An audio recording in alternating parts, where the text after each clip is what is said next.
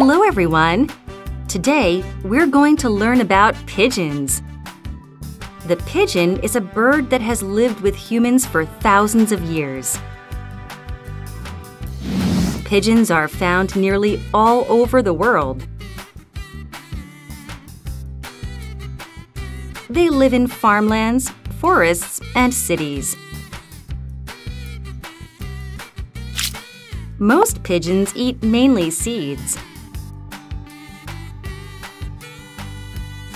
They pick them up from the ground. Some eat leaves or fruit. These birds have fat bodies with short necks, small heads,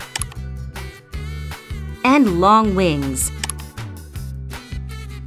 Many of them are gray, brown, black, or white. Pigeons have an excellent sense of direction. For thousands of years, people have trained pigeons to carry messages. A trained bird can find its way home from distant locations. What an amazing animal!